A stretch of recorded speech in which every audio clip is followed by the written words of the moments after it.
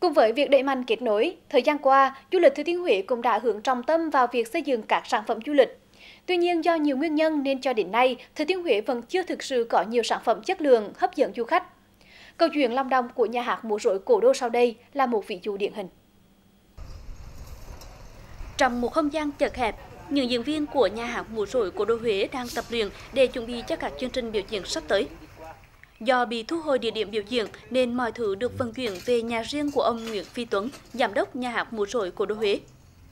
Đây đã là lần thứ ba nhà hát múa rối, một đơn vị xã hội hóa của ông bị đóng cửa sau gần 10 năm hoạt động.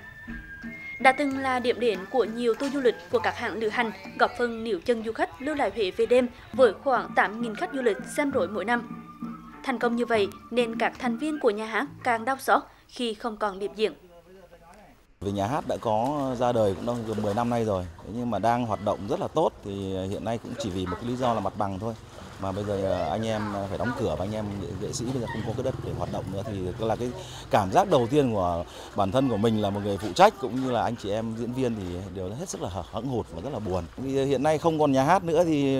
đành phải để về nhà mình thôi. Thì nhà mình thì do cái điều kiện nó rất là chật trội, nhà cửa thì cũng đang nhếch nhác cho nên là thôi thì cũng đành phải ờ, khắc phục bằng cách là về đây để mà tập thì ờ, tập xong rồi khi nào mà uh, đến chương trình biểu diễn thì cũng phải đi thuê mượn một cái hội trường nào đó để cho anh em tổng duyệt chạy chương trình rồi là đi diễn thôi chứ. Mình thì theo một đội nước là cũng tinh cơ thôi. Đó là một cái duyên, một cái duyên trong nghề thôi. Và mình rất đam mê ở nghề này. Một diễn viên cũng là lâu năm trong nhà hát này thì đi theo thầy cũng là lâu mà thì nhà hát thì nó cũng không được ổn định cho lắm nhưng mình cũng buồn vì cái nghệ thuật này cả nghệ thuật truyền thống của đất nước Việt Nam ta mà được bạn bè quốc tế rất ngưỡng mộ. Đối với những người diễn viên tại nhà hát, từ lúc bắt đầu cho đến bây giờ, hầu như không có ai từ bỏ những con rối. Nhà hát không có điểm diễn, các diễn viên lâu năm phải đi xoay sở tìm việc làm khác, nhưng mọi người vẫn luôn nhớ nghề, nhớ ánh đèn sân khấu và nhớ cả niềm vui của khán giả. Không những vậy, dù nhà hát đóng cửa nhưng vẫn có rất đông các bạn trẻ đến đăng ký xin học và được theo đuổi nghề múa rối nước này. Thật ra thì ờ, khi mình mới vô nghề làm thì chủ cũng có nói với mình là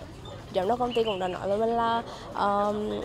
công ty đang gặp khó khăn. Nhưng mà khi mà mình tham gia một rối á thì mình thấy uh, tìm hiểu khám phá ra được nhiều cái hay từ cái um, nhiều cái mà mình mình chưa học được trước đây mình chưa biết. Và khi mà mình tham gia thì mình thấy hứng thú hơn và mình tìm hiểu được nhiều cái hơn. Và mình nghĩ là mình sẽ um, có thể tiếp tục tham gia được và có thể đi lâu dài đến với ờ, uh, một đội. Em đến về với ờ, đội nước này cũng được một năm rưỡi rồi. Em đến với bộ môn này cũng mới ban đầu thì cũng để trải nghiệm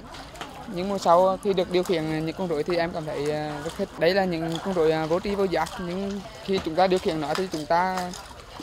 thì có một cái giống như kiểu thổi hôn vào nó và em vẫn tiếp tục theo đuổi với nhà hát em tin vào sẽ có ngày thành công